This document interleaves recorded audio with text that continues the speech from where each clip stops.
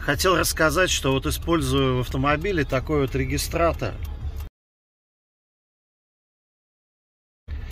А, это регистратор, э, который продается в сети Галамарт.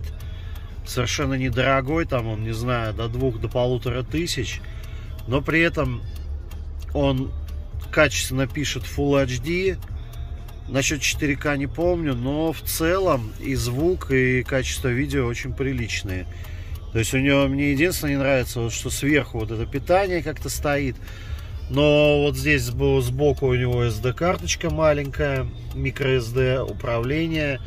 Также есть кнопки быстро, быстрого, да, а, если нужно что-то запомнить. Запомнить, да, есть кнопочка, нажимаешь, и он у тебя этот файлик оставляет. А так все идет цикличная запись по кругу.